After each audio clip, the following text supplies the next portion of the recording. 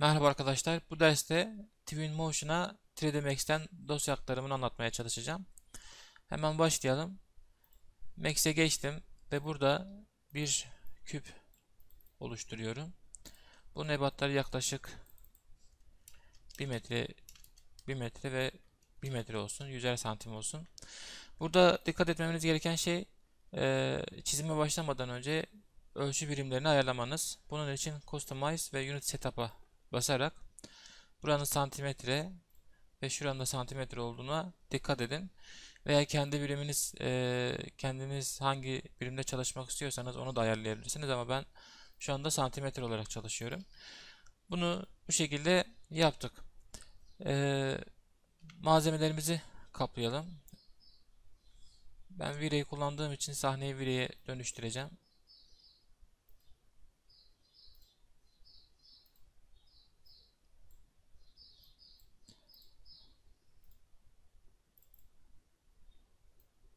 Evet. M1 diyelim buna. Bir ikincisini kopyalayalım. M02 diyelim. Ve bunların renklerini değiştirelim. Bir sarı olsun. Bir de kırmızı olsun. Evet. Bu küpten bir tane daha kopyalayalım. Evet. Bunu buna bunun da sadece bir yüzeyini ee, tabi tümün önce sarı yapalım. Ondan sonra bir yüzeyine de kırmızı uygulayalım.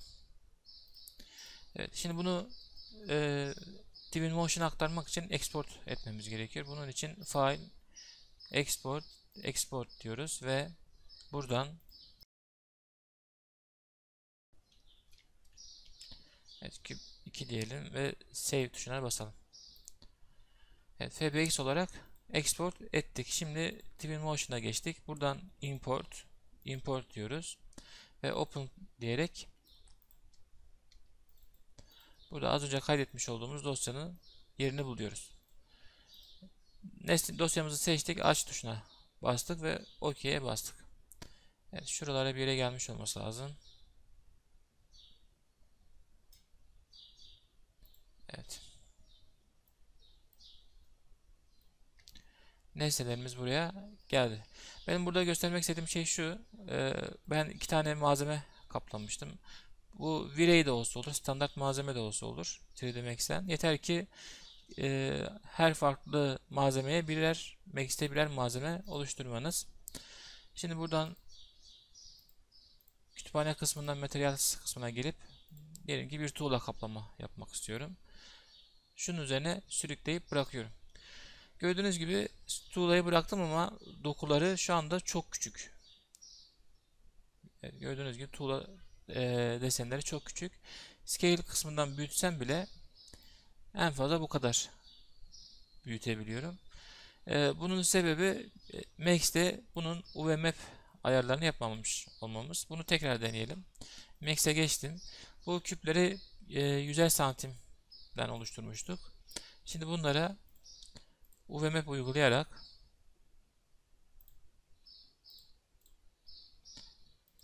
Real World e, kısmını iptal ettim ve Box'ı seçtim.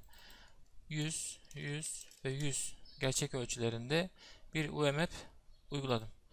Evet bu şekliyle hemen deneyelim. Yine export, export ve küp 03 diyelim. Save diyelim.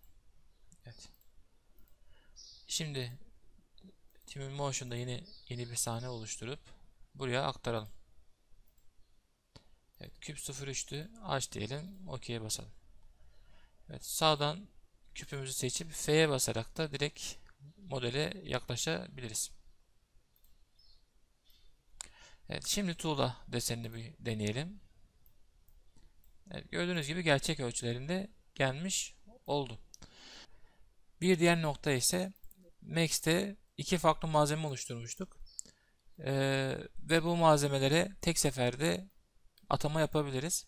Diyelim ki kırmızı olana şu dokuyu atmak istiyorum. Gördüğünüz gibi hem bu küpün üzerindeki kırmızı materyaller bu taş desenden kaplandı hem de şuradaki kırmızı materyal bu taş desenden kaplandı. Yani Max'te hazırlamış olduğumuz tüm farklı materyaller için burada tek seferde kaplama oluşturabiliyoruz. Şimdi bir diğer e, dosyayı e, buraya aktaralım. Bunun için buradan bir apartman projesi açıyorum ve bunu bunu yine file export export diyerek kaydedelim. Save diyelim. OK diyelim. Evet. Yine sahnemizi sıfırlayalım. Import import diyerek çağıralım.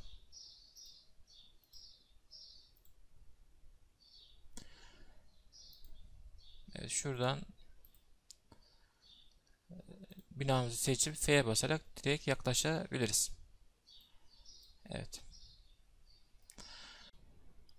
Burada da e, Max'ten gelen materyallere göre kaplamamızı yapalım. E, hemen başlayalım.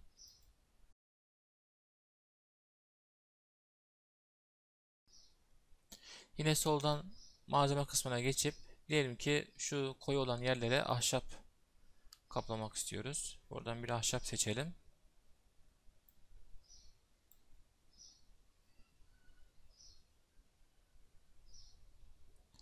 Şu olsun.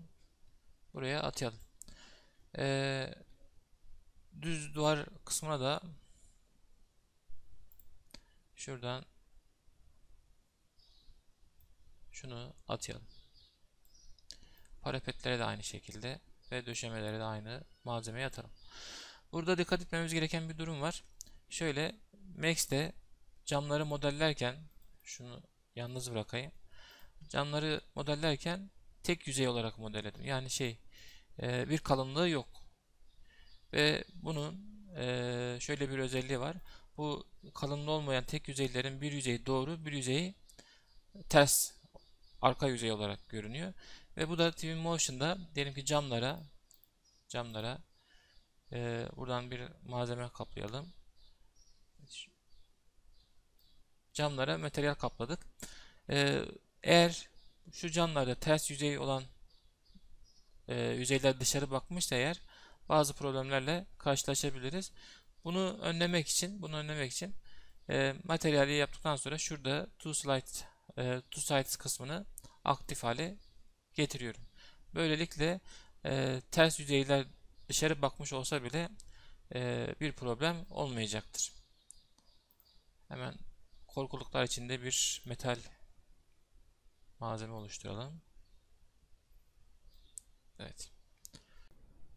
Evet bu şekilde. Şimdi ise e, projede bir de değişiklik yaparsak bunu nasıl güncelleyebiliriz onu görelim. Evet bunun için yine örnek bir sahne oluşturdum. Bunu e, export diyelim. Tabi export etmeden önce ben UVMap yapmayı unuttum. Onu hazırlayayım hemen.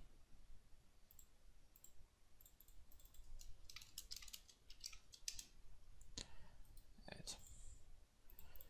Bunu export export küp 04 diyelim buna da kaydedelim.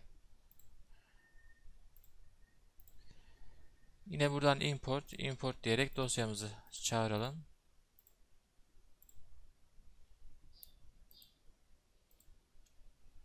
Evet, dosyamız geldi. Şimdi buna hemen kaplamamızı yapalım.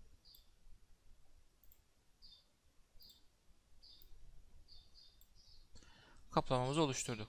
Şimdi diyelim ki bunda bir değişiklik yaptık. Örneğin şunu bir kopyasını aldık.